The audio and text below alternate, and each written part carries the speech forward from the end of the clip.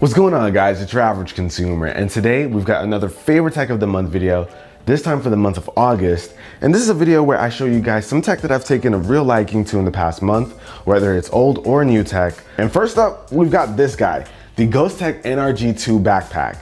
Now this is an awesome tech oriented backpack and it has a lot of cool features.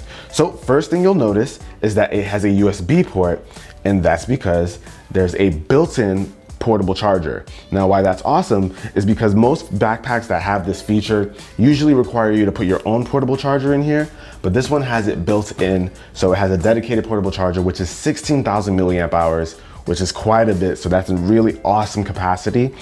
And when you need to charge that uh, portable charger, you have a little slot here with a micro USB port where you can just charge it up. You don't have to worry about pulling out the portable charger or anything like that. Just plug in your backpack and you're good to go.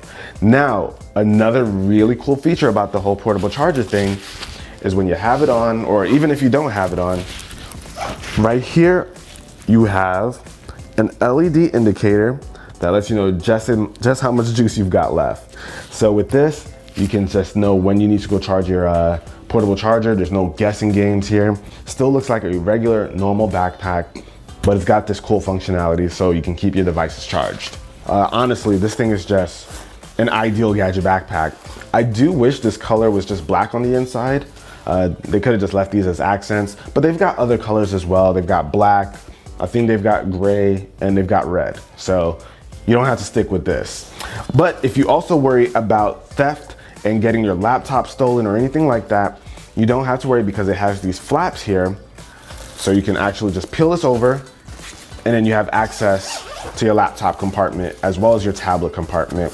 And you can put some more stuff like books in here so you don't have to worry about being able to carry things like that. And it's waterproof or water resistant, which is great for your tech. And if this kind of backpack isn't your style, they also offer some other options as well. They've got like this messenger bag, which has the exact same features. It itself has a ton of compartments so you can fill this up with a ton of stuff. And they've also got this little satchel here uh, that also has a 16,000 milliamp hour battery with the exact same features, LED indicator, all that stuff. But yeah, they offer a pretty wide range of gear with these awesome features. So I'll have it all linked down below in the description, as well as everything else in this video. Now, guys, do you see this over here? Just please, just, just take a look at this. My baby's missing. She's in the shop though. She'll be back. That's why the screens are all black. My heart. But moving on, over here, this is what my baby got me. She got me the Z-Board 2. Uh, she worked with Z-Board 2 to get this in-house. Uh, but guys, this thing, I love it. As you can see, there's a lot of wear. I've been using it quite a bit, but this is just a great take on the electric skateboard. Now, Z-Board's the company that actually got me into electric skateboards. And what's really awesome about how they go about it is that in the front and back, you've got these uh, foot pads that are your acceleration up front, brake in the back. So what that means is you don't need a remote of any sort to move. So it's all pressure sensitive. So based on how much you pressure you put down on the front, how much you lean forward, depends on, uh, that determines how fast you go. And if you need to stop, you just lean back on the brakes and boom. So what I like about the Z-Board 2 is that it is now way, way lighter than the previous version. So this one is manageable uh, to walk around with. Uh, if it dies on you, you don't have to worry about chugging around a really heavy board. So they did some really, really great improvements. And something that sets the Z-Board apart from other electric skateboards is this thing has crazy range. So instead of having like six to eight miles of range, this thing can go up to 16 miles. And I think their Pearl version is 24.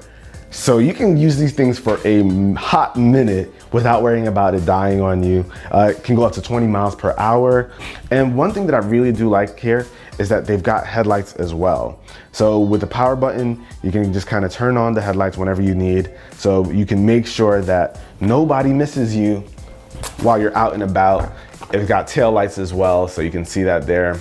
Having that there, mwah. so huge shout out to Z-Board and my baby for getting this in-house. Now, the next thing we gotta talk about is this guy. This is the Razer Hammerhead BT. So these are Bluetooth earbuds that actually really surprised me. Uh, these are by Razer and you know, they're known for gaming headsets and gaming peripherals, but I didn't know that they made regular headphones or earbuds for listening to just casual music. And after trying these out, I was actually pretty surprised. Uh, these are nice. They have quite a bit of bass, which I'm a fan of, you guys know this. Uh, but the one thing that I really like is the design here. So you'll notice this thing in the back, which is, when I first saw it, I was like, what is this? Why?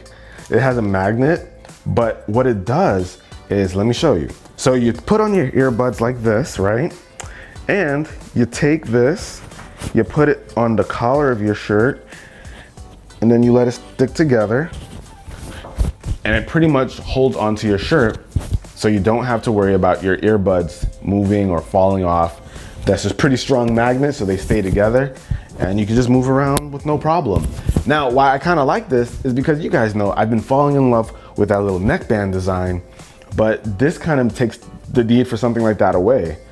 So you could move around, not worry about them falling out because it's actually secured onto your shirt and it makes it easier to store. You can just kind of take them, crumple them up, throw them in your pocket. So you get the same functionality as a neckband almost, but with this uh, more typical design. Now you still get all the stuff like an inline remote, of course. Uh, you get eight hours of battery life, and you also get this pretty cool feature of having a pulsing light uh, right on the logos of the earbuds.